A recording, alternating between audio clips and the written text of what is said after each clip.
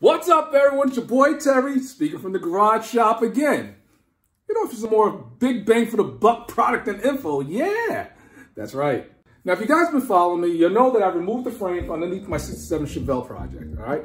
And then we installed the Summit Racing Equipment frame bracing kit, and we braced it up, painted it, and made it look all kinds of pretty. But I've been getting a lot of questions. Hey, Terry, listen, we know that the frame, we know you took care of that, we know that it's on point, all right? But what about the what about the body? What condition is the body in? That's a good question. A lot of people have been asking about the body of the car, what kind of condition it is. So, you know what? We're gonna turn the camera around because the camera's actually sitting on the trunk of the car, and uh, we'll have a little chat. At this time, I want to thank each and every one of you guys. I come on here every time I do a video because I got to show the love because you guys been showing the love. And I want to thank you guys. Thank you guys for all the support, all the questions and comments. Keep them coming. And advice. Hey, listen, if you guys want to, you know, chime in and say, hey, Terry, won't you try doing this or doing that? I'm, always open for ideas. So to continue to love and support, please hit that subscribe button right about now. And make sure you do it three.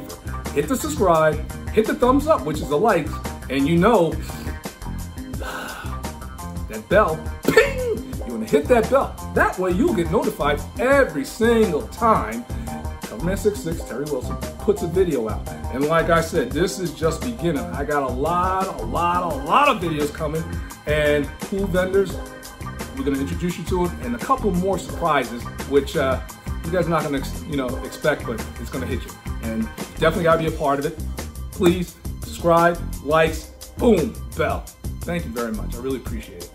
Now we're trying to get this thing ready so we can go to car shows, go to LS Fest, and you might see me in Fest with the Trailblazer SS towing the 71 Chevelle. I don't know, but we're trying to get out there. So to get everyone up to speed, we're gonna show some video footage when I first got the car to the point where it is now. So let's video flashback to the beginning. Ha! No! That's too far back! Well, check this out. That's right. This is my new project that I'm going to be working on. This is my 1967 Chevelle, which I picked up for a song. And I'm going to do everything from soup to nuts, soupy nuts. The car is in primer, and you know when you get a car that's in primer, it's you're going to find some hidden stuff. So we're outside the garage shop now, and uh, he's soda blasting my 67 Chevelle. Check him out. Look at him go.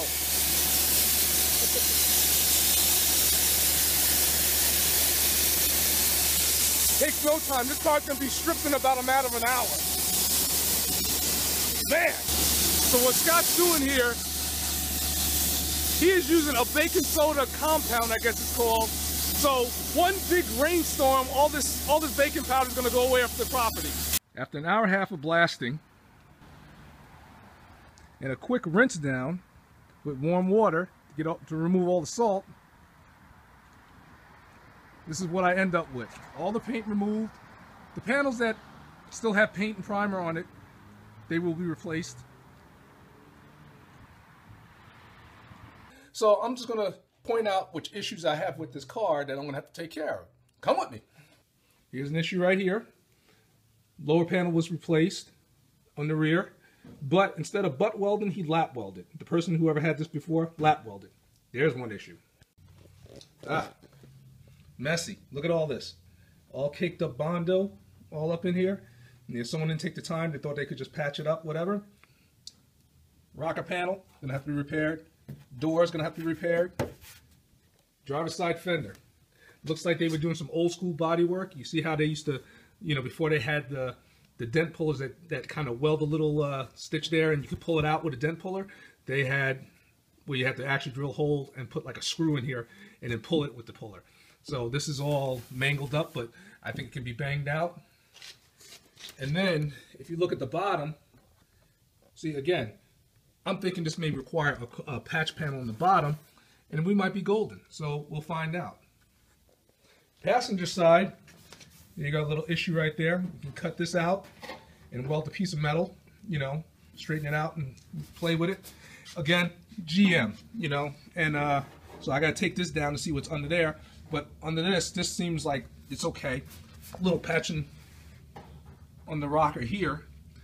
All right, because I kind of don't want to replace the rockers, but if I have to, I will. The back deck, check this out. Instead of butt welding this, they lap welded it. You know? So we got to address that. That's got to be addressed. I want to get this right. They hung the quarter panel on the old quarter panel. Again, see, this is a lap weld. All the way to the point where it comes right here. Again, a lap weld. The car has its issues, but you gotta keep you gotta keep your eye on the prize. And you gotta stay focused because how awesome is this car gonna be once it's all said and done? You know, it's gonna be a nice ride. This is my full driver's side quarter panel from AMD's AMD quarter panel, and I feel that they fit the best. When you restoring one of these old school cars, you're gonna find surprises. And I found a lot of surprises with this car. All right, and it got to the point where I was gonna replace the whole entire rocker panel. If I replace this whole, just take this whole rocker panel out, that's gonna be a lot of measuring for me to do. You get straight edge, and you use what you have here as a guideline. As far as you take this straight edge, right? Hold it like this, and you make sure that there's no gap in between, and you can weld it right in place and then you're done with this. This this this was an easy repair. And you do the same with the top. Now remember, the quarter panel wasn't on, so you can do the same with the top. But even now the quarter panel's on, so I can't show you. But make sure that it's straight that way and there's no space between. This rocker was totally eaten up.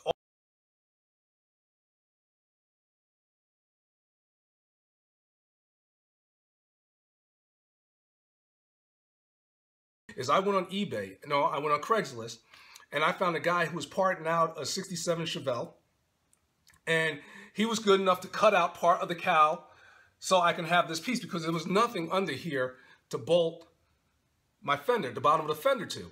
So all this was rotted out and everything. So what I did was I popped all the spot welds out of the piece that I got, the, the, the, the, piece that the guy sent me. And he sent me the other piece too, the other side, for like 25 bucks, which was really good and I just welded. I had to re pretty much remake this whole part of the car.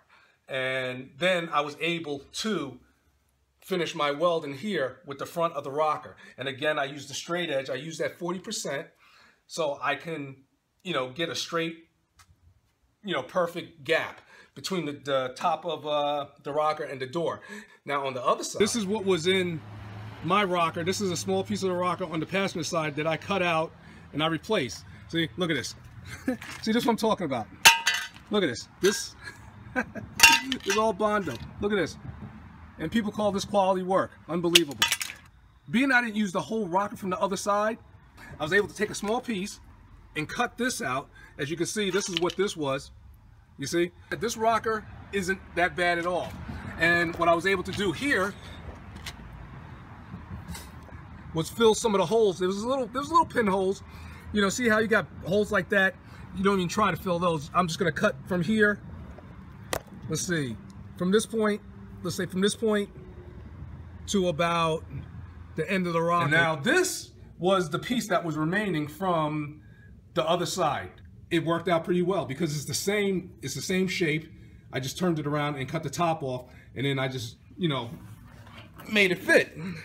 Now remember, this again, thanks to the guy from Craigslist, from this point on down was missing.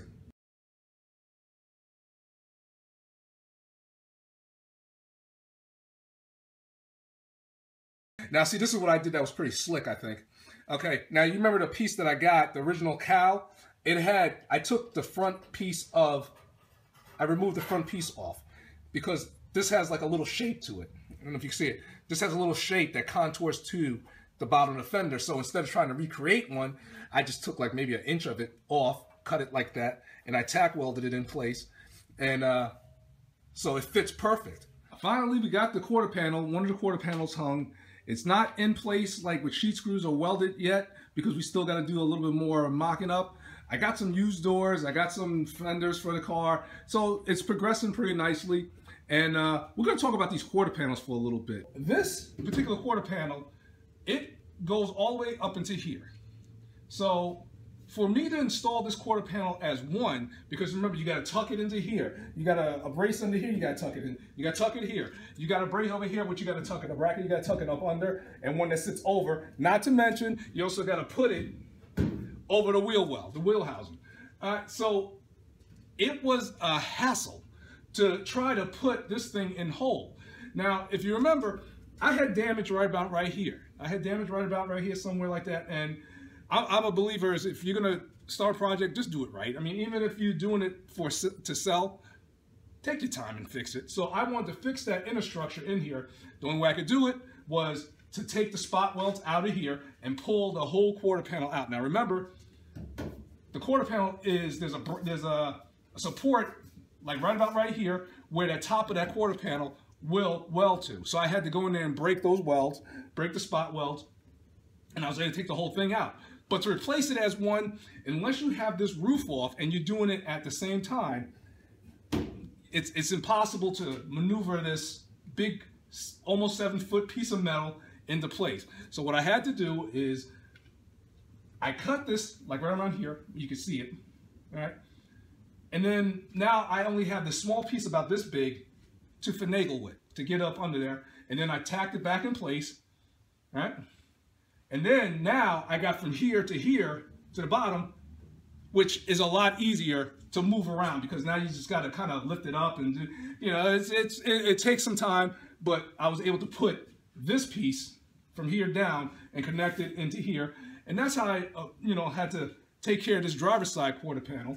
Now this quarter panel was a little bit easier because I didn't have damage up behind here on this panel. So I was able to just cut the new quarter panel right along here and just hang it, you know? So this was easier. This was an easy repair. How do you know if you need a new floorboard? All right, new floor pan, all right? You take a hammer like this, right? Now, if you could take this hammer and go through the floor like that, chances are you're gonna need a new floor pan. The life expectancy from one of these cars, an old school car like this, is five, 10, maybe 15 years. GM never expected you know, these cars to be around 50 years later, especially when they were designing them and building them. Because if they had, they would have put better rust proofing down the floor. Now, what happens is, you know, 50 years of, you know, you, you're sitting in a car and, you know, rain. Now, you know, people didn't used to baby these cars. People used to drive these cars in the rain, the snow, all kinds of crazy weather and the, put their wet feet all up in here, and the water would drip down and settle right about right here. And then what happens is now, you know, you wash your car and you forget to put the floor mat back in to protect the bottom of the rug and all that. So now you got your wet feet sitting up in here, dripping the water all the way down. Water gathers around here, and that's where you get that nasty mold funk, nasty smell in your car and everything like that. You get a guy, you know, who restores the car 50 years, some odd later, and now he's got to go and replace this board. Let's get to work. See?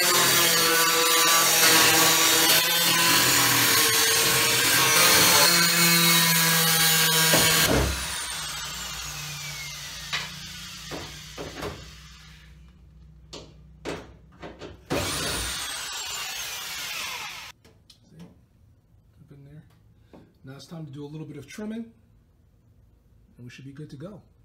All right, so here you go.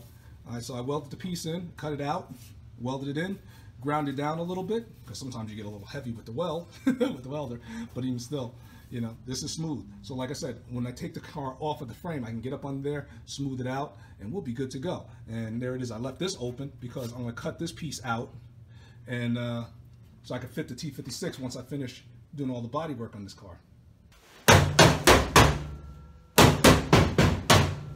Strong!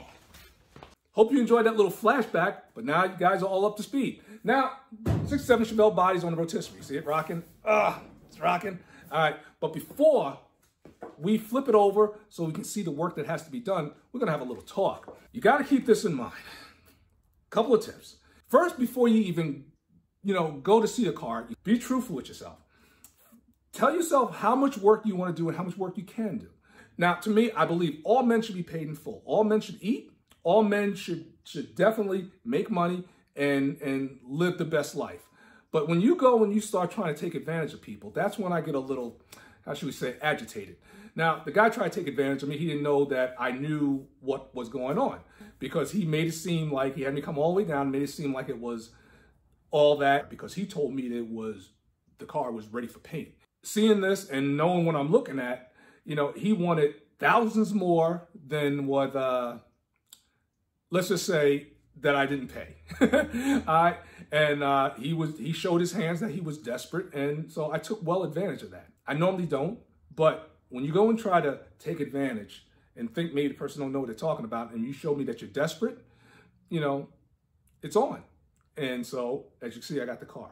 Take a friend that has nothing vested in it. You got to take a level-headed friend that's going to be like, you got to look at this. You got to see this. You got to do it. You know, take someone, always take someone with you. So that way, you know, like I said, you have someone who, who will point things out and slap you back down to reality if need be. Always, you know, write things down that you want to check out. Even if you're gonna if you're gonna see the car on a Saturday and here it is a Tuesday, start there. You may think in your mind that you're gonna, oh, I gotta remember to ask this question, but then when you're there, you forget.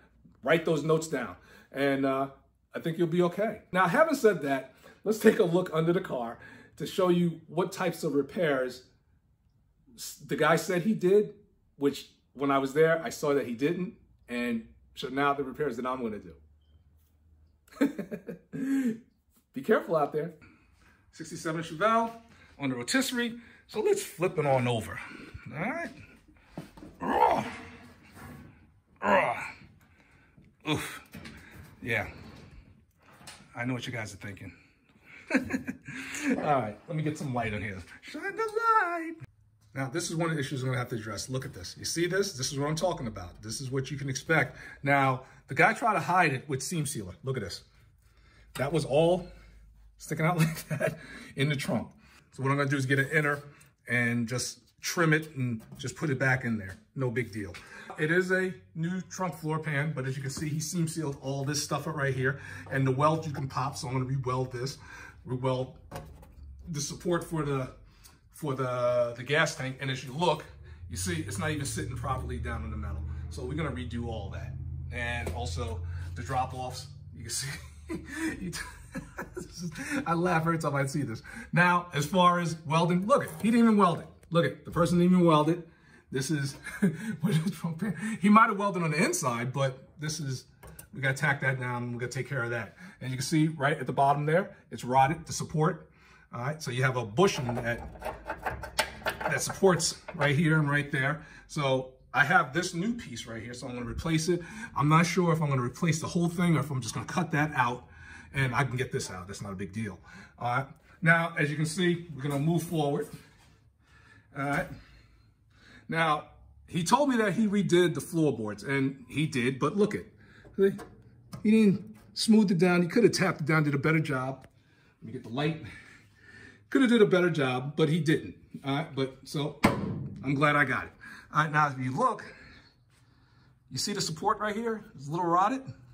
I got three of them. There's one, there's two, and there's a third one right there, or should I say first, second, third, and that would be the fourth. So I'm just gonna cut it and tack it in. As you can see, it's not even there on the other two. You see, right there? It's not there because he didn't take time out once he repaired the floor or tried to repair the floor. You know, put it in from this point that he didn't attach the rockers. So the proper way to do that is to take all that out and get new rockers, or should I say inner rockers. And like I said, I'm gonna cut, because you can see right here, where cut it. So I'm gonna cut this from this point, get the new, the new brace, and weld it here, and weld it here, make it a little longer on both, or should I say one, two, three, four. This one I can get away with, and that's cool. So it needs, a, it needs some work. This is just what's out there. This is the type of work people are passing off as quality work. And they hide it with a lot of seam sealer. So remember, you go see a car, and if it's all in primer, definitely, definitely be a little wary. Proceed with caution. So that's pretty much it. So we got some work to do. So there you have it. I showed you where we were, where we are, and where we're going. So now once the body of the car is all tight underneath, we're gonna set up the frame, uh, put the suspension on it, and then we're gonna put it back under, under the body. And the car will be as one. But in the meantime, Pontiac G8 door panels, seats, everything, we're gonna put them in this car. We're gonna graft them in. So the guy that's gonna do that is my man Gillen up in uh, Gill Interiors. And the cool part is we don't have to wait because Gil has a 66 Chevelle up there right now that's getting some work done. So he can use that as a template to get my panels done where I don't have to bring the car up.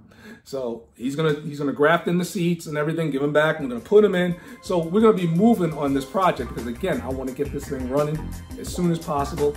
We already have plans for the engine. That you want to definitely stay tuned. But that is another video for another day. But until the next time, again, I want to thank you guys for joining me. And like I said, we're gonna be moving quick. We're gonna be jumping back and forth on different projects because there's nothing wrong with that. There's nothing wrong with that, going back and forth to another project, you know, like getting your mind fresh on something new. Because we got the Le Mans project, we got the 67 Chevelle project, we got the 69 Camaro project. How about that? My brother's Corvette's gonna be coming up in here, and we might even have a, a, a 62, 63 C10 might be even showing up in here. So we gonna we got some projects, and uh, and like I always say, can't be done without you. And I really appreciate the love. So like I said, definitely on all social medias, make sure you follow me on Facebook, Terry Wilson, Coverman66, and I think there's another Terry LSX. Follow on all of them because I got a lot of stuff jumping off. And I want you guys to be involved. Now, if you have a comment or question, hit me up anytime because you know I'm not a hard brother to find. I just made a rhyme. Ooh. But as always, as always, please mm, be easy, and I'll catch you guys real soon. Take care.